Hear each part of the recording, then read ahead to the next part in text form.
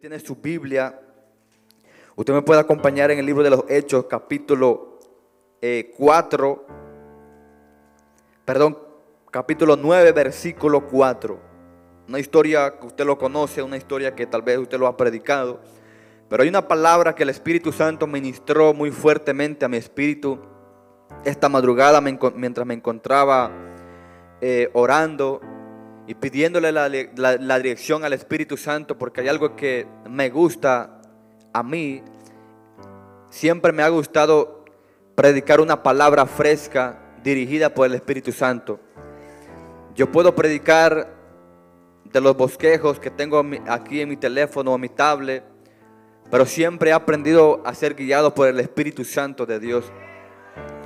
Y no importa qué tan fuerte o dura sea la palabra de exhortación, de, levantar el ánimo o de avivar o cualquiera sea la palabra, cuando Dios te da una palabra específica, esa palabra Dios mismo la va a respaldar. Gloria a Dios. ¿Lo tienen? Hechos capítulo 9, versículo 4. Gracias a los líderes de esta casa, a los ujieres, a todo el mundo. Amén. Gloria a Dios. Dice la palabra de Dios honrando al Padre, al Hijo y al Espíritu Santo. Y cayendo en tierra, oyó una voz que le decía, Saulo, Saulo, ¿por qué me persigues? Él le dijo, ¿quién eres, Señor? Y él le dijo, yo soy Jesús, a quien tú persigues. Dura cosa te es dar coces contra el aguijón. Él temblando y temeroso dijo, Señor, ¿qué quieres que yo haga? El Señor le dijo, levántate y entra a la ciudad y se te dirá lo que debes hacer. Y el 6 dice, y temblando y temeroso, le dijo, Señor, ¿qué quieres que yo haga? La palabra de Dios está, está bendecida, amén. Se puede sentar. Pero no siente su alabanza, mi hermano. Porque me pone más nervioso de lo que estoy. Aleluya. Usted conoce la historia de Pablo, mi hermano. Un hombre que dice la Biblia, Saulo, que perseguía a la iglesia, perseguía a aquellas personas que confesaban a Cristo, que predicaban a Cristo. Un hombre, mi hermano, que no tenía piedad si fuera un niño, fuera un adulto, un adolescente si ese niño confesaba a Cristo como su Salvador, como su Señor, este hombre llegaba y lo torturaba, lo mataba. Este hombre, dice la Biblia, que siempre, de tiempo en tiempo, él siempre agarraba un edicto, una carta de sus otros comandantes y siempre iba eh, rumbo a Jerusalén a ver eh, aquellos cristianos que predicaban la palabra de Dios. Usted sabe la historia, conocemos la historia de este hombre llamado Saulo que mataba a los cristianos, que perseguía a los cristianos. Pero hay algo en esta historia que, el Señor me, me ministró en esta mañana y es que cuando dice la Biblia que Saulo iba rumbo hacia Damasco, iba rumbo hacia Damasco a otra misma asignación, a lo mismo que este tipo siempre se dedicaba, a matar a los cristianos. Un hombre que no tenía piedad de Dios, un hombre que no tenía compasión de los cristianos, un hombre que literalmente cuando le, le, mandaban a que fuera a matar a los cristianos, él lo hacía.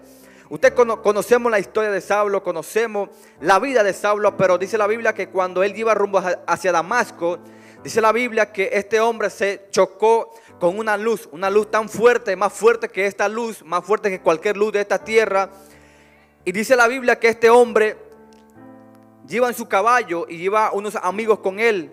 Cuando llegó aquel hombre aquel lugar, cae de su caballo, aquel hombre queda ciego. Y cuando este hombre cae de su caballo, queda ciego literalmente, este hombre se pregunta y escucha una voz, un hombre ciego, un hombre que literalmente, eh, me imagino que este hombre pensó, los, los amigos que estaban alrededor de ellos pensó que estaban locos. Y él dijo, wow, ¿quién me está hablando? Y en la Biblia nos damos cuenta nosotros quién era Saulo. Pero hay algo que a mí me llama la atención de la vida de Saulo, es que fue la palabra que el Señor me administró. Saulo, en el versículo 6, él le pregunta al Señor, ¿qué quieres que yo haga? Y la palabra que el Señor me ministró, conocemos la vida de Saulo, quién era Saulo y quién fue Pablo. Un hombre, dice la Biblia, que con sus delantares los enfermos se sanaban. Dice la Biblia que este hombre lo azotaron 40 veces, menos 31, 39. Este hombre lo dejaban medio, medio muerto y este hombre se levantaba y seguía predicando la palabra de Dios. Pero hay algo que yo quiero dejar en tu corazón y el Espíritu Santo me ministró a mi vida. El problema de esta generación, yo hablo a esta generación nueva que el Señor está levantando en estos tiempos. No hablo de la generación pasada, porque gloria a Dios que Dios usó allí a Ávila, gloria a Dios que Dios usó a Billy Graham, a, Catherine Kulma, a Benny Hinn, a todos estos hombres que son inspiración para nosotros. Nosotros vemos sus videos, leemos sus libros y nos inspiran a buscar de Dios. ¿Cómo fue que Dios los usó grandemente ellos? ¿Qué fue, ¿Cómo fue que oraron? ¿Qué fue que hicieron? ¿Cómo se caminaron? ¿Cómo se conducieron? Todos estos hombres nos inspiran a nosotros a poder acercarnos más a Dios, a poder movernos a como ellos se movieron, a como Dios los usó grandemente. Pero gloria a Dios por la vida de ellos. Yo no quiero hablar de ellos. Gloria a Dios por la vida de los generales de Dios en, el pasado. Pero yo quiero hablar a esta generación que Dios está levantando en estos tiempos.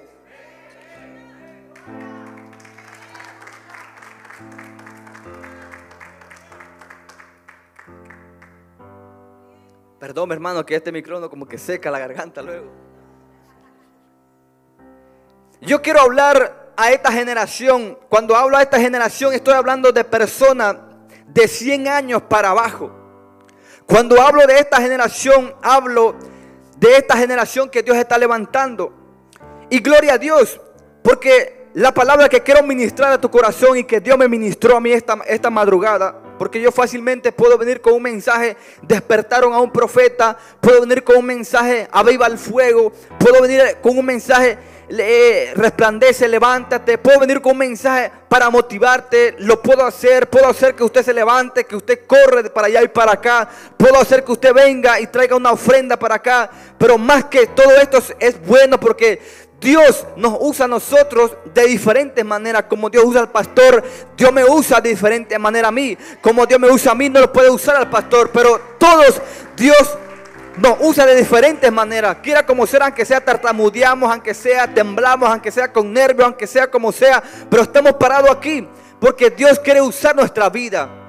Pero la palabra que Dios me dio mientras yo meditaba de Saulo es que el Señor me administraba y me decía, Edwin, el problema de esta generación es que quieren ver milagros, quieren ver que el paralítico se levante, quieren ver que el muerto resucite, quieren ver que el ciego cobre vista, pero no quieren hacer lo que hizo Pablo. Yo dije, ¿cómo así? No entiendo. Sí, porque hay una generación hoy en día y gloria a Dios, Dios me dijo que sí, que Dios lo puede usar, pero primero la palabra que Dios me dio me dijo, cuando Pablo le dijo, Señor, ¿qué quieres que yo haga? El Señor me ministró y me dijo, hay una generación que se está enfocando más en lo que yo pueda hacer a través de ellos que lo que yo quiero hacer en ellos. Escuche, escuche esta palabra que el Espíritu Santo me dio a mí personalmente. Porque yo llegué a un momento que yo me estaba afanando mucho. Llegó un momento, mi hermano, que yo quería solamente profetizar. Yo llegó un momento donde solamente yo quería, mi hermano, eh, orar por los enfermos. Porque llegó un momento donde yo, mi hermano, quería solamente eh, darle palabra bonita, hablar bonita, pero el Espíritu Santo me habló y me dijo, hey, tú te estás afanando mucho en lo que yo puedo hacer a través de ti, pero te estás desenfocando en lo que yo quiero hacer a través de ti. Porque cuando yo hago a través de ti, entonces tú vas a estar listo para que yo pueda hacer a través de ti. Yo no sé si usted me está entendiendo la palabra que, que le estoy predicando en esta noche. Y el problema de esta generación es que se están enfocando más en lo que Dios puede hacer a través de ellos. Y es bueno, me dijo el Señor. Pero se están desenfocando, mi hermano, en lo que Dios puede hacer primero en ellos. Porque, Pastor Isaías, Dios no puede hacer a través de mí si primero Dios no hace en mí. Para, para poder ser un, un Pablo, primero tuvo que ser un Saulo para Pablo poder sanar a los enfermos, el primero tuvo que ser sanado primero su corazón. Ay, ay, ay. Yo no sé si usted me está entendiendo. Pablo, para poder libertar a los endemoniados, él primero tuvo que ser libre. Pablo, para morir, ay, ay, ay, a su propia voluntad, a su carne. Él murió. Y Dios me hablaba, mi hermano. Dios me hablaba y me daba esta palabra. ¿Qué quieres que haga? Y esta generación, y gloria a Dios, mi hermano, porque yo he visto a mucha gente que Dios los levanta, que Dios los usa y Dios está levantando en mi iglesia, en casa de Dios, Dios está levantando a muchos jóvenes. No solamente soy yo, yo sé que aquí también en esta iglesia Dios está levantando a muchos jóvenes que tienen una palabra genuina de parte de Dios. Pero el Señor me administró con esta palabra.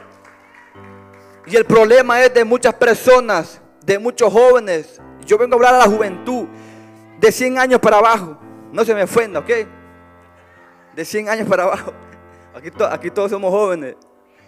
Pero yo vengo a hablar a una generación, mi hermano, porque es peligroso que yo siendo un pastor o un ejemplo, pastor Isaías, que usted sube a alguien aquí y predicando y hablando que lo que Dios puede hacer en ellos, pero usted no ve quiénes son sus pastores, a quién ellos están sujetando, a quién ellos están dando cuenta.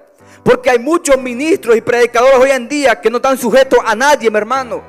Por eso yo me presenté, quiénes son mis pastores, qué es lo que yo hago, quiénes son mis pastores de jóvenes, mis líderes, mis mentores. Yo no ando a lo loco. Y el problema de muchos jóvenes que se están levantando hoy en día, no quieren, no quieren, mi hermano, pagar el precio.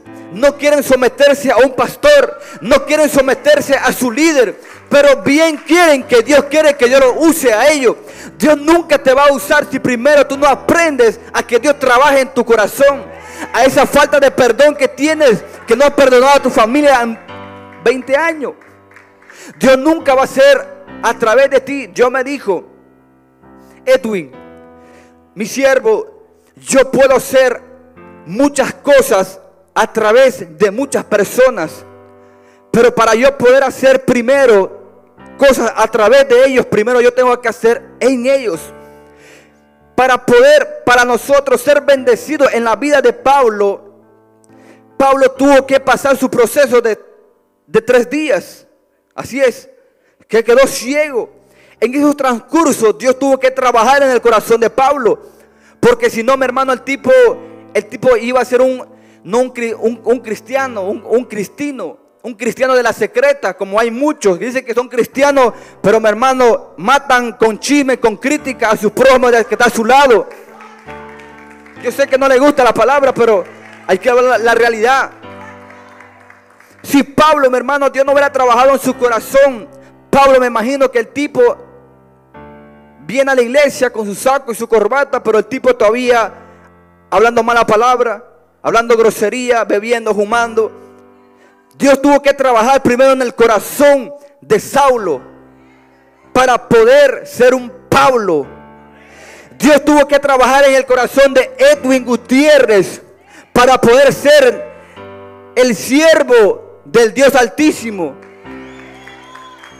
Sí, mi hermano, porque mucha gente nos ven hoy parado aquí, wow, Dios lo usa al varón, esto, el otro. Pero mi hermano, usted no sabe Usted no sabe el proceso que uno ha pasado. Usted no sabe lo que uno ha vivido. Yo, yo me veo joven, me veo guapo. Yo sé que sí. Sonríe que Cristo le ama. Yo me veo bien. Yo sé que me he visto bien, mi hermano. Yo sé que para los que le caigo bien, gloria a Dios. Para los que no, pues también. Pero mi hermano, mucha gente me ve y me dice, varón, pero usted cuántos años tiene? Yo le digo, tengo tanto. No lo quiero decir porque está la cámara ahí. No, varón, pero yo lo veo de 17, 18. Gloria a Dios, mi hermano, le digo yo. Pero no es así. Yo tengo más. Tengo más años. Pero, gloria a Dios. Pero mi hermano, muchos jóvenes me escriben y gloria a Dios. Yo les aconsejo, les digo, mira esto. Y en Kansas igual, pastor. Se me acercan y me dicen, varón, mira cómo tú haces esto, el otro. Pero no saben, hermano, la gente quieren la unción. Pero la unción, e, ellos piensan que la unción es de que te sientas ahí y el pastor viene y te agarra el agua y ya te ungió. La unción no, mi hermano. La unción no es así. La unción santa en aquel, en aquel tiempo, dice la Biblia, que lo, para sacar la esencia pura y para que lo consagraran, e, ese aceite, el olivo lo tenían que machucar.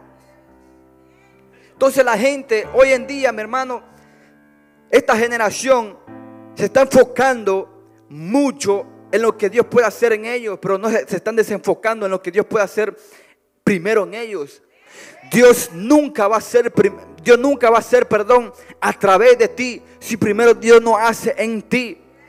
Ahora, cuando tú ya estás ready, cuando tú ya estás listo, cuando Dios ya ha trabajado en tu corazón, cuando Dios ya ha trabajado en tu personalidad, ahora tú vas a estar listo. Pueda, puede ser que tú puedas durar 20 eh, años, puede ser que tú puedas durar un mes, puede ser que tú puedas durar, no sé, seis meses. Porque hay personas, mi hermano, que también quiero tocar un punto, como este hombre llamado Nehemías. Este hombre dice en la Biblia que cuando Dios le dijo, ve a tal lugar y hay un hombre que está orando y escuche esto, Saulo teniendo un encuentro, tiene más visión que cualquier cristiano de aquí. Este hombre estaba orando y Dios le da visión y le dice que, había, que iba a entrar un hombre llamado Ananías, que él iba a orar por él y él iba a recobrar la vista. Que cuando Ananías escucha, le dije, Ananías, te tengo una asignación para ti tengo un trabajo para ti, Ananías. Y le dijo, Señor, ¿qué quieres que yo haga ahora? Y, el Señor le dice Ananías, ve a tal lugar, allá hay un hombre llamado Saulo, que yo lo he escogido y me es instrumento útil, me es para mi obra. Pero, Señor, ¿cómo así? ¿Cómo es posible? Escuche, ¿cómo así, Señor? Pero ese hombre llamado Saulo, este tipo mata a los cristianos. Este tipo no tiene piedad. Este tipo no tiene compasión de nadie. ¿Cómo es posible que yo voy a ir a orar por este tipo? Ananía es tipología cristianos que llevan 20 años en el Evangelio, que siempre andan cuestionando cuando el pastor le dice, mire mi hermano, vaya y cuide el parqueadero allá. Pero pastor, pero ¿por qué yo? Pero pastor, ¿por qué esto, el otro? Y más sin embargo, vemos a un Pablo, mi hermano, disponible. Vemos a un Pablo que, aunque sea endiablado, le dice, Señor, ¿qué quieres que yo haga? Un Pablo, mi hermano, que aunque se convirtió el día de hoy, el día de mañana dice, Pastor, ¿qué, qué, quieres que haga? Limpio los baños, eh, cuido allá en los carros, no sé. Pero un ananía, mi hermano, tipología cristianos que se jactan. No, varón, es que yo llevo 20 años en el Evangelio. No, varón, que yo llevo 15 años, mi hermano, purge usted con su silla, con su iglesia. A mí yo me he tocado con gente así, mi hermano, y lamentablemente yo les digo, mire, mi hermano, a mí que me importa que usted lleva 20, 15 años en el Evangelio pura con su silla, oxídese ahí. Usted nunca va a ver el propósito de Dios cumplirse en su vida. Es una realidad y hay que ver la verdad, mi hermano. Que siempre andan cuestionando. Mas, sin embargo, un Saulo endemoniado que aceptó hoy y mañana ya quiere predicar. Pero hey, Pablito, tranquilo, yo sé que estás en tu primer amor. Y el problema, mucha gente dice, no, varón, es que está en su primer amor. ¿Y usted qué? ¿Dejó su primer amor o qué? ¿Y usted qué? ¿Dejó su primer amor o qué? Cristiano, mi hermano, 20 años, 15 años. No es porque está en su primer amor, déjalo que vaya. ¿Y usted qué? ¿Qué? ¿Está en el segundo amor o en el tercer amor o qué? ¿Eh? Ananía, mi hermano, es tipología de gente que se jactan por el tiempo que llevan a la iglesia. Yo respeto tu tiempo, yo respeto tu edad, tu año que tú tengas. Pero ¿de qué me sirve a mí, mi hermano, que llevas no sé cuántos años metido en la iglesia y yo no veo evidencia, no veo frutos, no veo, no veo, mi hermano, que tú me inspiras a mí. Mas sin embargo, un Saulo, mi hermano, que aceptó hoy el día de mañana, Dios tuvo que trabajar en su corazón, se tuvo que matar eh, Pastor Isaías al discipulado seis meses, un año preparando. Pastor, ¿qué quiere que yo hago? Eh, eh, pastor, ¿va a haber discipulado hoy? Sí. ¿Va a haber oración hoy? Sí. Eh, ¿Va a haber esto? Sí. Y, ahí están las personas que están convirtiendo. Y el que lleva 20 años, 15 años se pregunta, wow, pero, pero el pastor, ¿por qué le da privilegio a este? Pero el pastor, ¿por qué lo sube aquí? Lo que pasa, mi hermano, es que hay un Saulo que está disponible hay un Ananías que está murmurando, criticando. Hay un Ananías que siempre anda cuestionando al Señor y a los pastores. Y por eso no ven lo que están pidiendo. Por eso no ven el cumplimiento de las promesas de Dios. Un Saulo, pero yo no quiero hablar de eso, mi hermano, porque Dios me administró muy fuerte en e, e, e, esa parte. Podemos hablar de Ananías, de todos estos, de todo estos hombres. Y usted sabe que Ananías, eh, rezongando, como algunos cristianos, que cuestionan, rezongan y después se van, pero lo hacen. Ananías terminó yéndose. Le digo, Señor, ¿qué quieres que haga? Ve, haz esto y esto y esto. Pero Señor, pero mira, este tipo me va a matar. Este tipo mataba a los cristianos y todavía lo hace. No, no, no. Ya yo cambié su corazón. Ya yo transformé su corazón. ¿Puedo bajar, pastor? Ya yo transformé su vida. Claro, tú dices que él era un Saulo, un hombre sin compasión. Ahora ya yo lo transformé a un Saulo, porque útil me es para predicar mi palabra. Él me es útil para ministerio. Yo sé que, mi hermano, aquí hay muchos Paulos que son útiles para la obra del Señor. Mas, sin embargo, hay un Ananías, mi hermano, que en vez de ser útil, son desinútiles. no, es la realidad, mi hermano. Yo me he encontrado con mucha gente así. Yo a veces me quedo callado, mi hermano.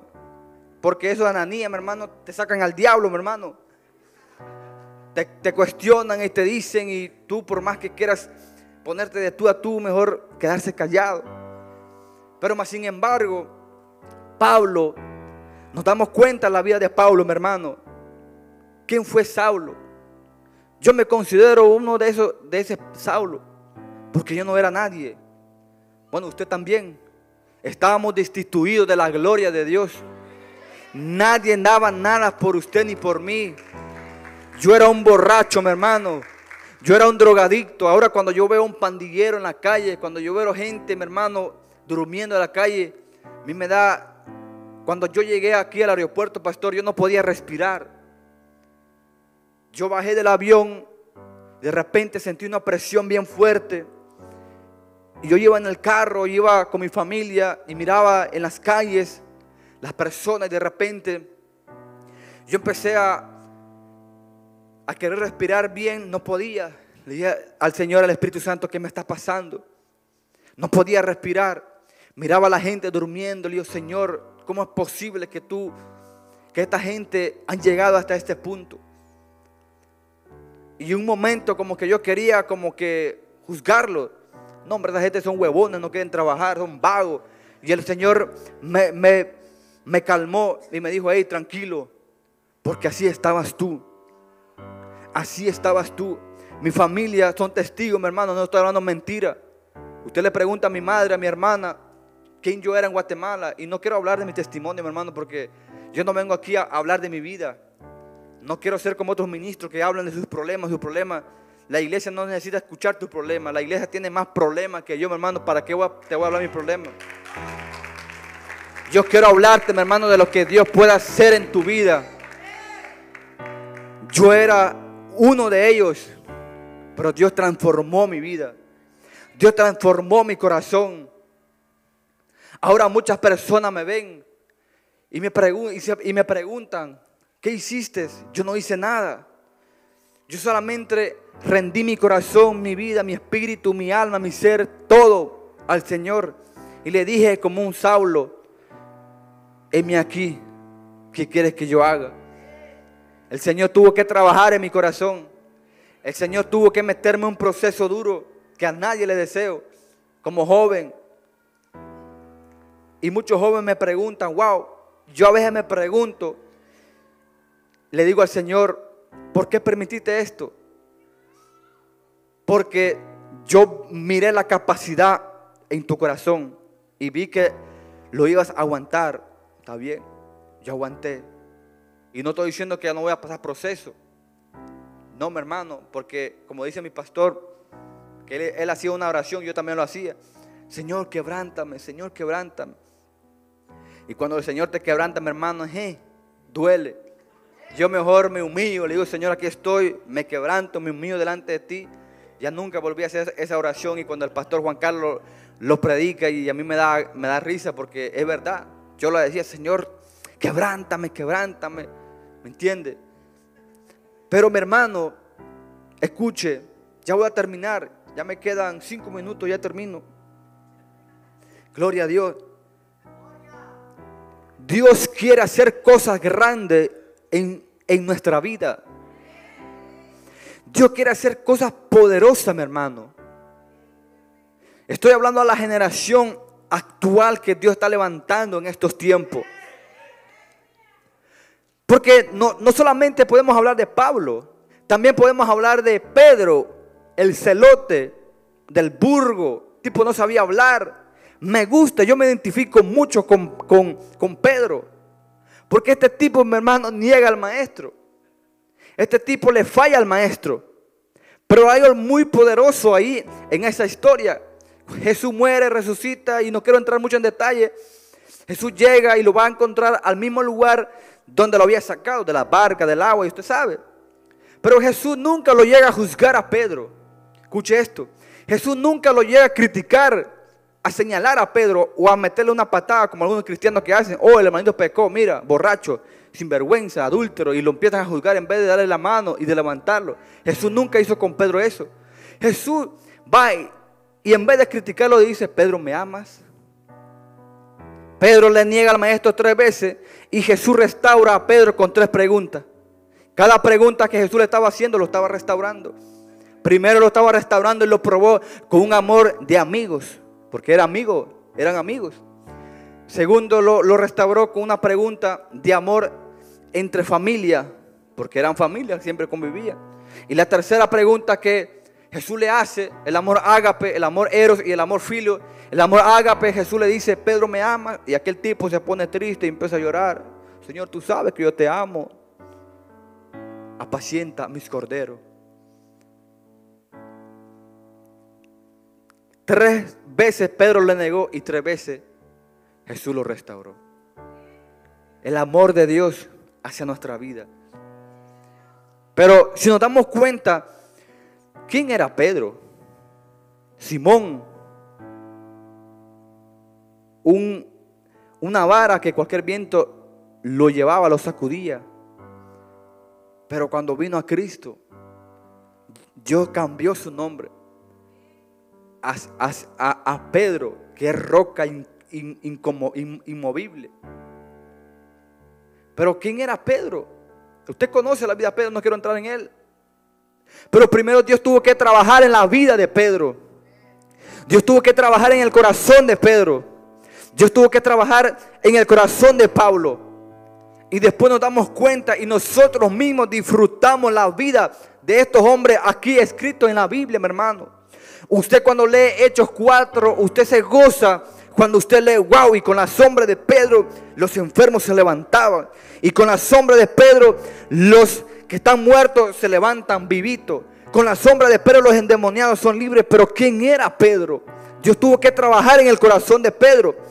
Y mi hermano, para nosotros poder ver las grandezas, para nosotros poder ver sus proezas de Dios en nuestra vida, primero tenemos que aprender y dejarnos que Dios haga primero en nosotros. Cuando Dios ve que nosotros ya estamos listos, cuando Dios ve que nuestro corazón ya está transformado, cuando Dios ve que nuestro corazón ya está literalmente preparado para hacer la obra de Dios.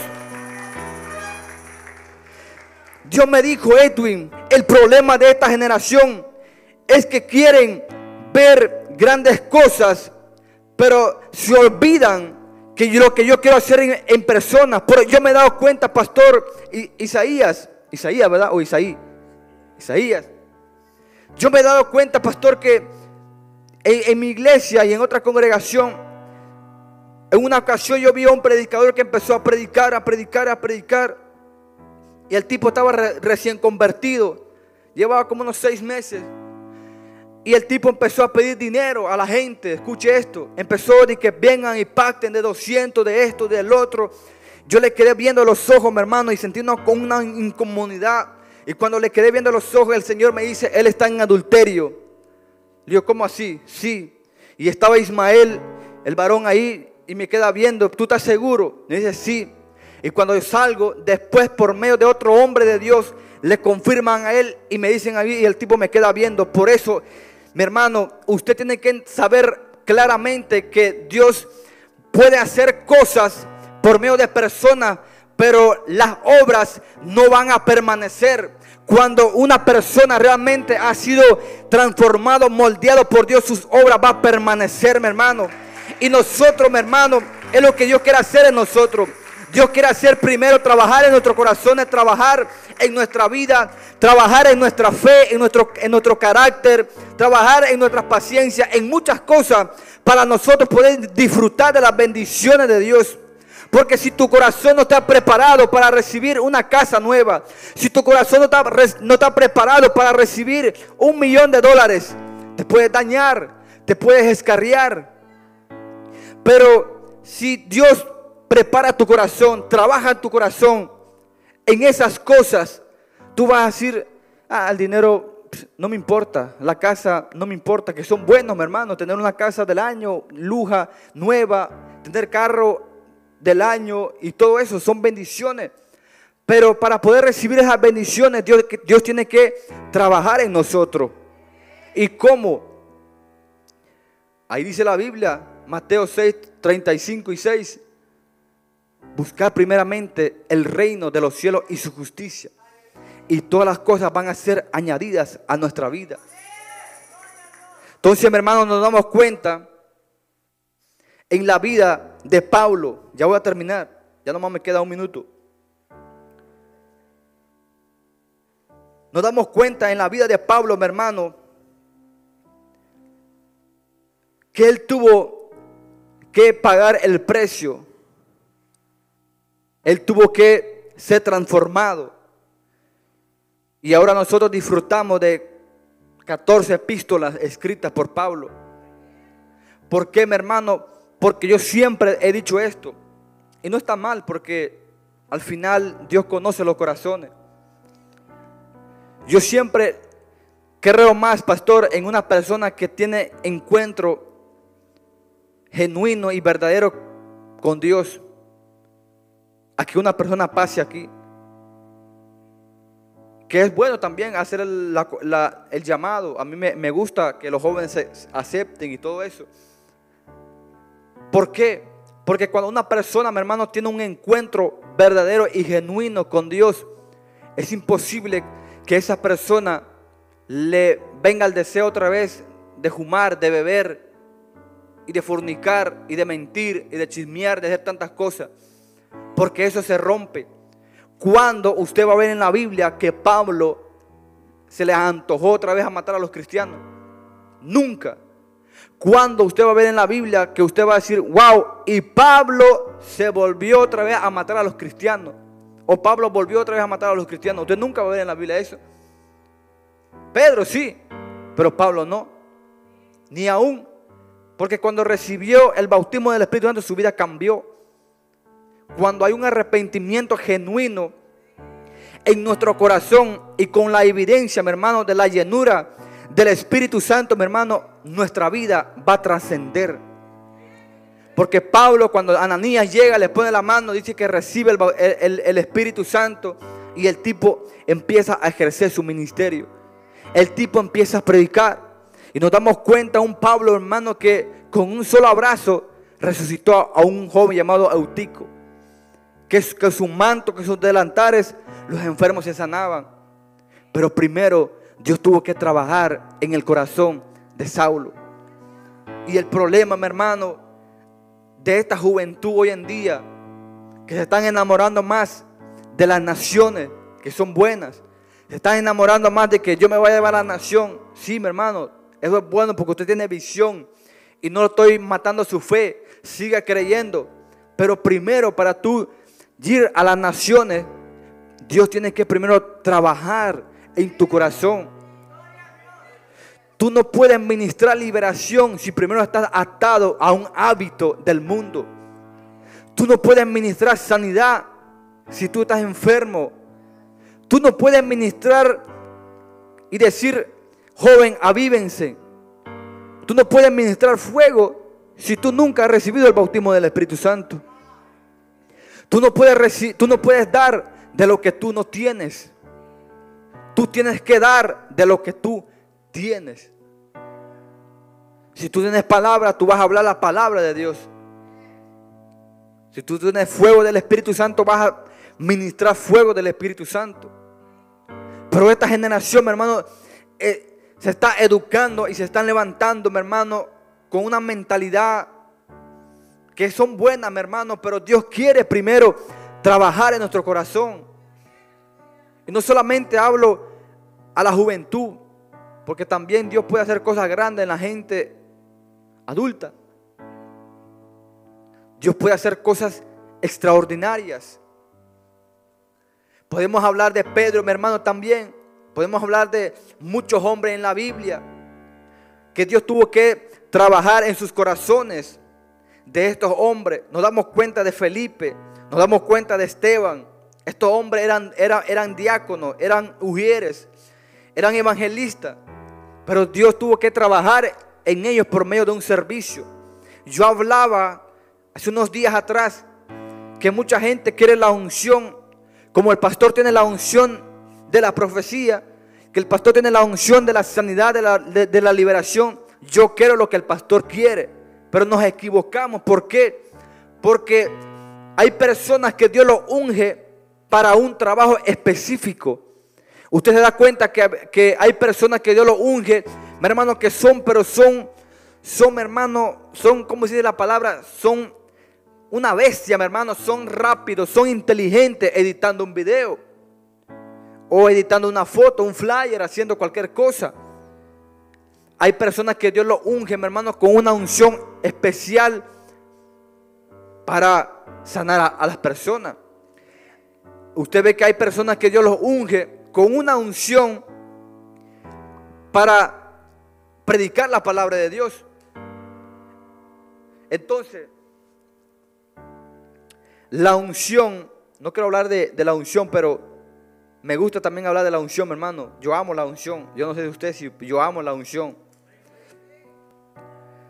El problema de esta generación es que no quiere, mi hermano, ser moldeado por la mano de Dios. Aún quien fue pastor Moisés, que Dios tuvo que trabajar con el corazón de él. Le dijo, meta tu mano, lo metió, lo sacó podrido, lo metió otra vez, lo sacó la piel de bebé. Dios le dio un mensaje, le dijo que así estaba el corazón de él. Entonces mucha gente, mi hermano, ministrando en los altares así. Y, Dios nunca, por eso mucho, yo, yo he conocido, pastor, muchos ministros que se han frustrado. Yo me he dado de cuenta. Que suben y predican. Y se va mi hermano como un avión así. Y de repente de ahí arriba caen. Digo, wow, pero ¿por qué? Y a veces uno se pregunta, pero este tipo además llegó y se fue. Lo que pasa es que no fue moldeado y trabajado por Dios. Porque las personas, mi hermano, que, que son moldeados y trabajados por Dios, permanecen. Y Dios hace cosas grandes con ellos. El ejemplo que nos damos nosotros, Pablo, Jesús, todos estos hombres, Dios tuvo que trabajar con ellos. Y esta fue la palabra que el Señor me dio. Dios nunca, escuche esto, ponga, ponga mucha atención. Dios nunca va a hacer cosas a través de ti si primero Dios no va a ser en ti. Cuando Dios hace en ti, Dios va a ser a través de ti. De ahí, mi hermano, Dios lo puede hacer. Dios lo puede hacer. Pero tu ministerio o el llamado que Dios te da no va a impactar. Pablo, mi hermano, usted nos damos cuenta cuántos discípulos llamó el Señor y cuántos hombres impactaron. Como tres, cuatro personas. Pedro, Juan, Felipe y, y Esteban y Pablo. Fueron 120 que recibieron la unción, pero no todos fueron efectivos en el ministerio. ¿Por qué? Porque Dios trabajó profundamente en la vida de estos hombres. Por eso usted cuando usted ve a, estos grandes hombres de Dios, Dios tuvo que trabajar en ellos. Dios tuvo que moldear cosas, quitar cosas, añadir cosas. Y nosotros nos sorprendemos, wow, pero yo quiero ser como Él. Yo quiero ser como Juan Carlos Harrigan. Pero no saben el hombre que cuando entregaba su ayuno lo hacía con un pedazo, con un pedazo de naranja. Hoy nosotros tenemos hasta un árbol sembrado en nuestra casa con mucha fruta y aún así no ayunamos. Pero queremos la unción de Juan Carlos Harrigan. Pero queremos la unción de, de Gigi Ávila, de Billy Graham. Queremos la unción de todos estos hombres de Dios. Y gloria a Dios porque usted lo anhela, lo desea. Pero usted quiere, usted quiere pasar lo que ellos pasaron. Usted quiere vivir lo que ellos vivieron. Porque dice, wow, todos nos admiramos de Pablo, de Pablo, pero Dios tuvo que trabajar muy fuerte en la vida de Saulo. Pablo tuvo que morir a sus deseos. Pablo tuvo que morir a su propia voluntad. Y el problema de esta juventud es que quieren hacer su propia voluntad. El problema de esta juventud es que quieren hacer y cumplir el propósito de ellos, no el propósito de Dios. Y Dios lo puede hacer, mi hermano. Yo me he dado, yo me he dado cuenta. Ministros que vuelan y de repente, mi hermano, como que el carro viene de retroceso otra vez bajando. ¿Por qué? Porque nunca se dejaron moldear o trabajar por Dios. Tú quieres ver cosas grandes de parte de Dios en tu vida. Yo lo quiero, mi hermano. Y lo, y lo estoy viendo. Pero primero yo he aprendido, mi hermano, aún en mi iglesia, varón, haz esto, sí, pastor, varón aquí, allá, sí, ahí voy. Varón esto, y a veces como que lo veo como que me lo hacen probándome, ahí sí voy, para acá y para allá.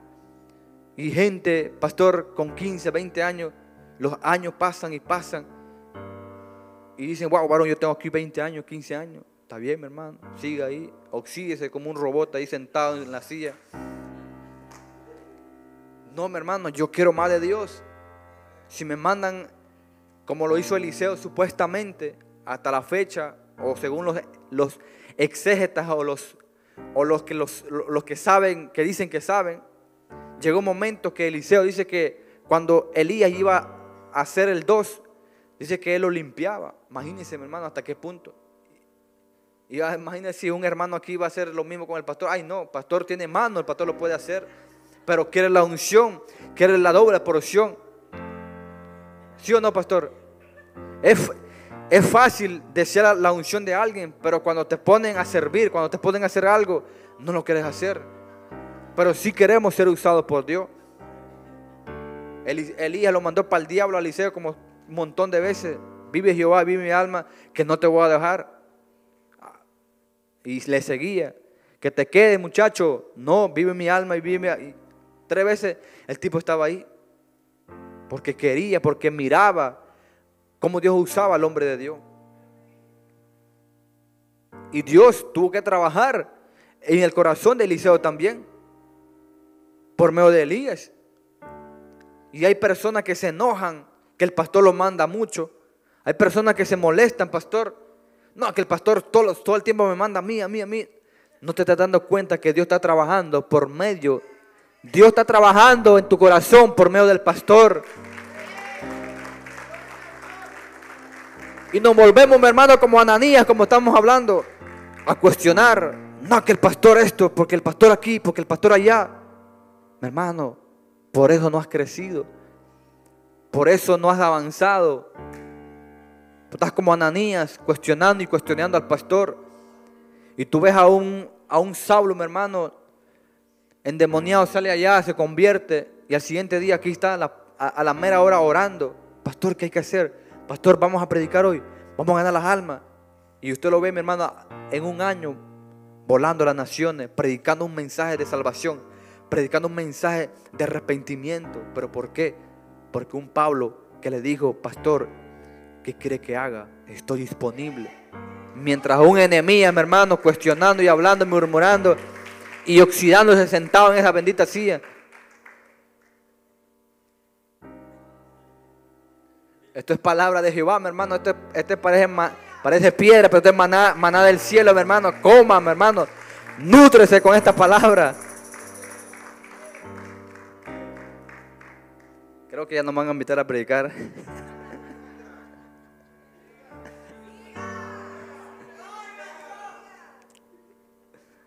Pastor, yo vengo de visita, pastor. Yo vine a visitar a mi familia. Y es que me, me, detuve un poco, mi hermano, porque esta palabra Dios me la dio a mí primero.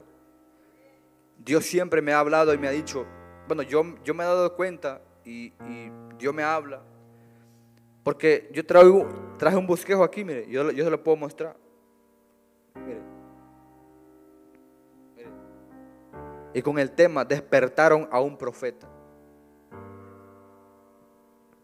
Fácil te puedo emocionar.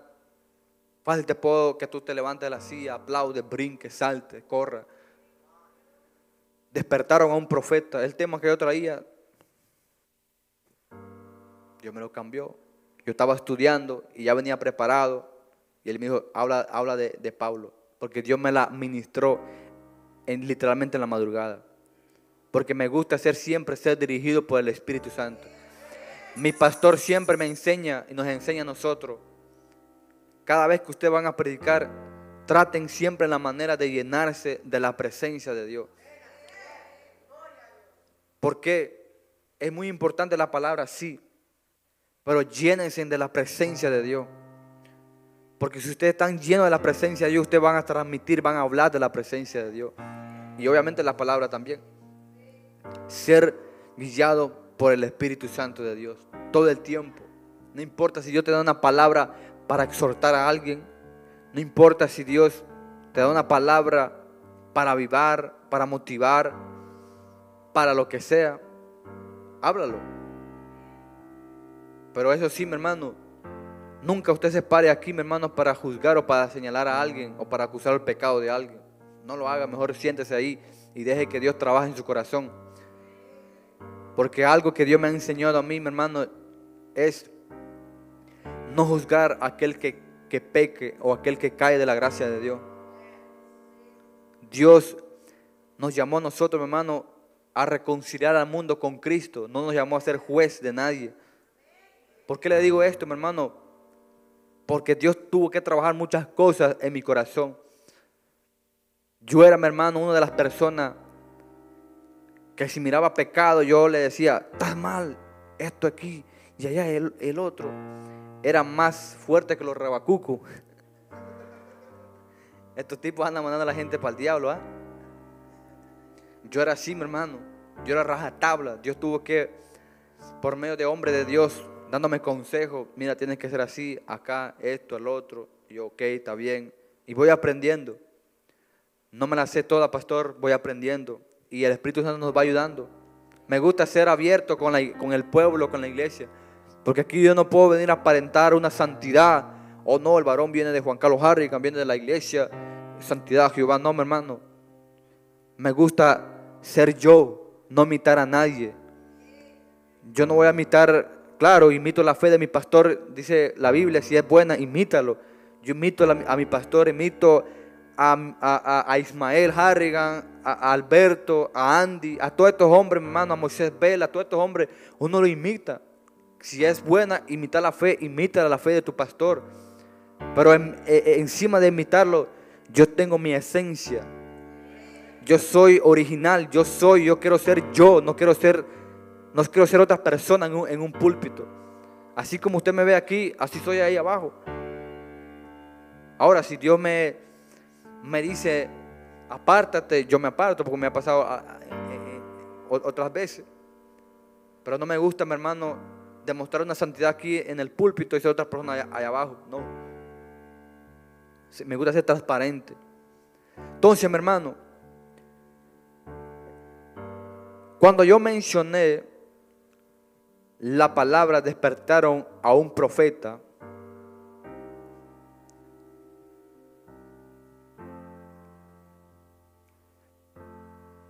Cuando, pastor, cuando yo mencioné la, la palabra despertaron a un profeta. Aquí creen en las profecías, ¿verdad? ¿Creen, ¿Creen en los profetas? Sí. ¿Creen en los profetas? Cuando yo mencioné la palabra despertaron un profeta y miré al varón que entraste en la puerta, a ti. Yo no te conozco.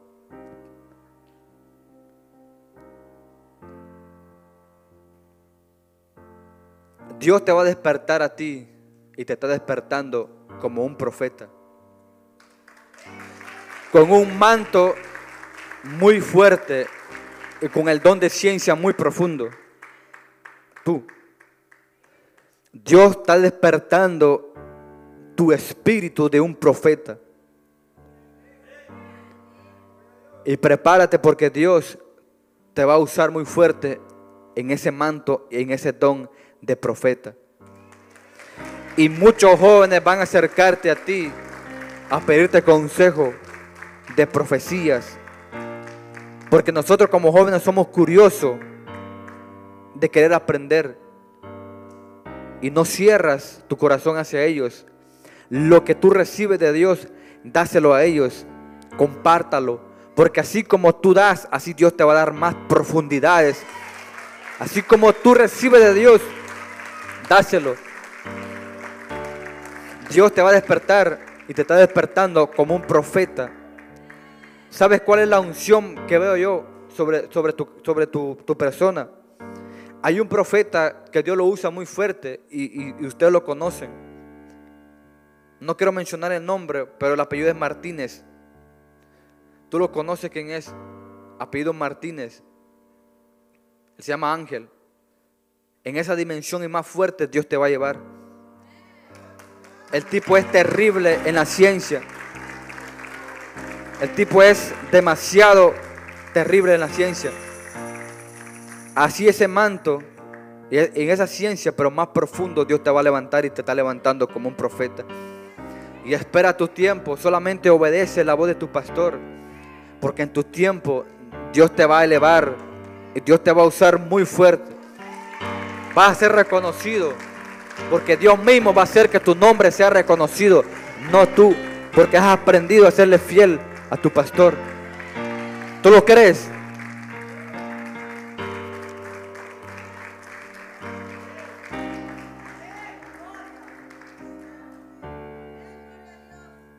Mi hermano, también profetizamos, mi hermano, cuando Dios nos da palabra.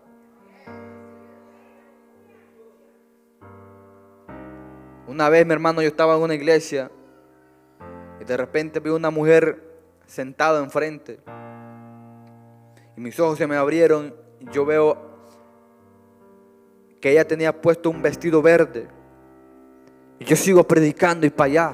Y tienes que avivar el fuego del don de Dios. Y hoy se levantan, hoy se despiertan y activan ese don.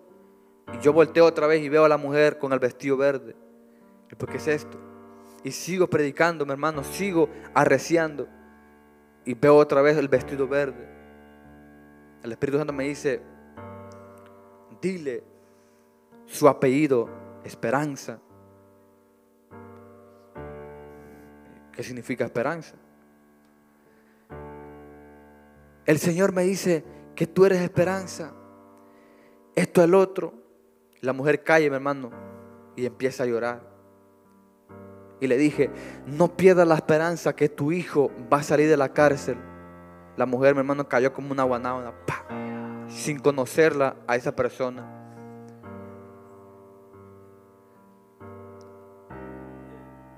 Al principio de comenzar mi mensaje, yo le dije, mi hermano, que Dios está levantando una generación. Escuche esto. Y yo soy muy celoso con las cosas de Dios, mi hermano. Yo soy muy serio con las cosas de Dios. No soy perfecto, no soy santo, soy más pecador de todos ustedes que están aquí, soy el más pequeño. Pero me gusta ser muy cuidadoso con las cosas de Dios. Y al principio le dije que yo va a estar levantando una generación como Samuel, que aunque ven que los hijos de Elí se corrompen y los pastores, como dice Isaías, pastores mudos, que aman su, el dormir, no abren su boca, no confrontan el pecado, no alertan al pueblo. Pero Dios está levantando un Samuel que, que, se, que se guarda y no se contamina con las cosas del mundo. Un Samuel que se compromete a guardar la presencia de Dios. Yo creo, mi hermano, que Dios lo está, haciendo en esta congregación. Dios va a levantar Samueles genuinos en esta iglesia. Dios va a levantar y está levantando jóvenes, mujeres, adolescentes con una palabra genuina de parte de Dios.